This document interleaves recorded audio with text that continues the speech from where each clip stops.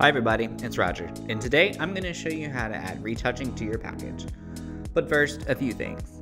You need to make sure you know what image services you're going to be offering, know what packages will include the retouching, and have access to those lab image options if you're going to use them. So let's get started. From the price sheet, we'll select the package.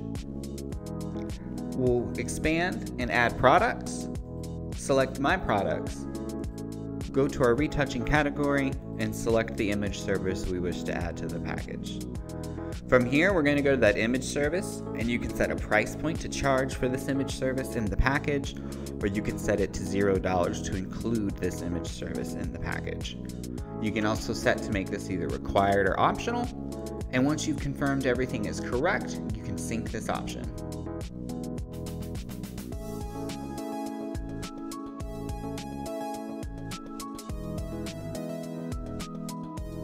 Bye.